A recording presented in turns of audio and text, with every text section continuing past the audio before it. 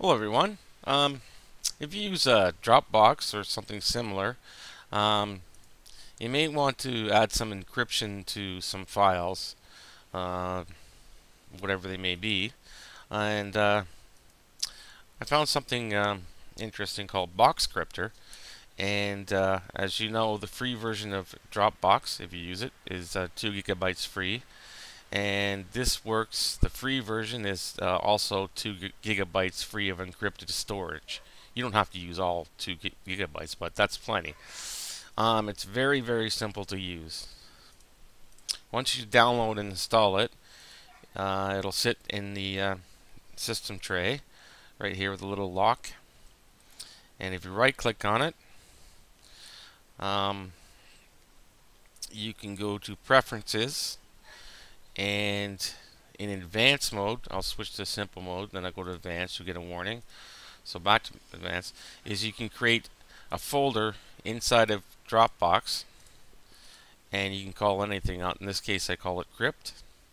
And the label for the drive is default as Boxcryptor and um, you can change the drive letter as long as it's not uh, interfering with uh, anything else, but it's it as you can see here, it only lets me select from J down to Z, Z, whatever. Um, so I chose Y because I use uh, um, not virtual. Oh, jeez. What's the other uh, encryption software? TrueCrypt. Sorry. All right. So um, when you open computer, you'll see Boxcryptor, 2 gigabytes free space. Right now there's nothing in here.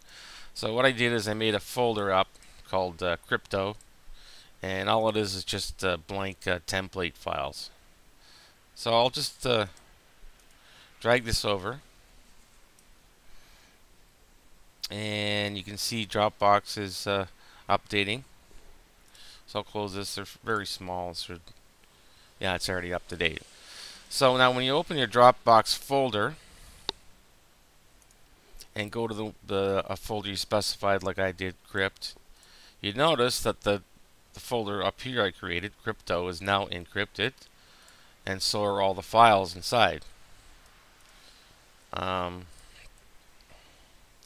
and if you look on the website, Boxcryptor, uh, under support, frequently asked questions, it uses uh, Advanced Encryption Standard, or AESE 256, in different streams. And there's a bunch of other things that you can... Uh, it works in uh, Linux and uh, Mac OS as well.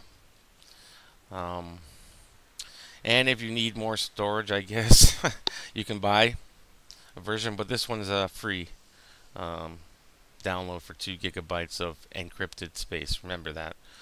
So, um, when you want to look at your files, your personal files without encryption, you just go to your computer and the drive letter you chose and just look at them. Obviously, these have nothing in them, but any sensitive data. So if you go to the, your your um, internet website, uh, Dropbox, uh, wait for that to load. Is crypt, the folder I named, and the same thing. Uh, you can see the uh, encrypted file system 6 XML document, and they're the same files that you would see on your local computer inside your Dropbox. So yeah, that's uh, that's basically it. Um, so it's box Boxcryptor. I'll put it in the description part of the in uh, the video, and uh, I, th I, thought it was neat. I haven't seen anybody anybody uh, review this or anything on uh, on YouTube. Maybe I didn't look uh, hard enough, but uh, I think it's a kind of a good solution if you're if you want to keep some files, sensitive files, from away from prying eyes on the internet, which is you know an important thing to do nowadays if you use cloud storage at all.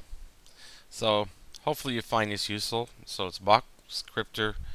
Uh, and uh, thank you very much for watching. And um, Have a good one, eh? Take care.